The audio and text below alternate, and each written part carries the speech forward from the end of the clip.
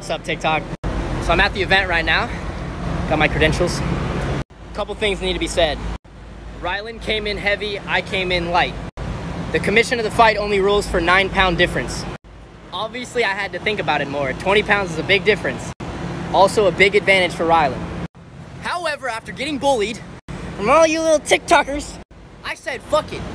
I'll show up to the event, I'll fight whoever, I want to entertain the people, and I want to have a good time. Myself, my coach, Ryland, and Ryland's manager all met with the commission. And they have officially told us that this cannot happen. It has nothing to do with me not dropping, sorry, me not gaining weight.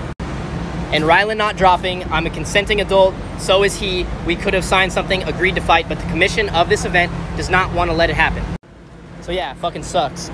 I really don't appreciate how Ryland made this such a one-sided thing like it's just my fault.